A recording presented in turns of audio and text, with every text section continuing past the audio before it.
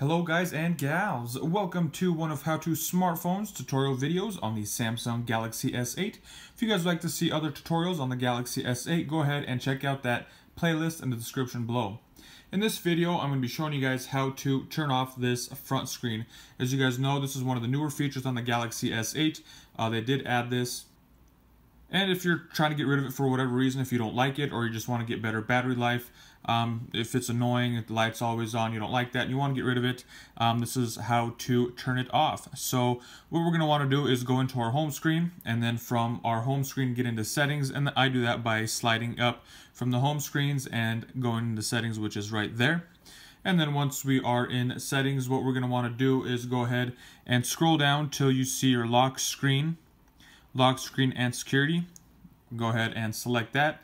And then once we're here go ahead and go down to the always on display and go ahead and just deselect that. Show an image or information on the standby screen.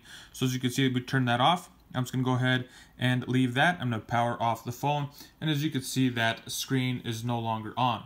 So let's say you turn it off and or somebody else turned it off for you and you want it on um, the same way to do that is start off by getting into settings and lock screen and security. Go ahead and select that. And then once you're here the always on display go ahead and toggle that to the on position. And from here it should be back on. So it just takes a second there to activate. And once again it turns on and it gives you the time and the date and uh, on mine the battery percent uh, remaining. So that is how you turn the front screen on and off on a Samsung Galaxy S8. If you guys found this video helpful, go ahead and give me a thumbs up. If you know somebody who is looking for this tutorial, needs help with this, go ahead and share it with them, help them out. If you guys have any kind of feedback for me, I welcome hearing it, positive or negative. Go ahead and drop it in the comments section below. And that's all I got for you guys in this one. Thank you guys for watching. Have a nice day.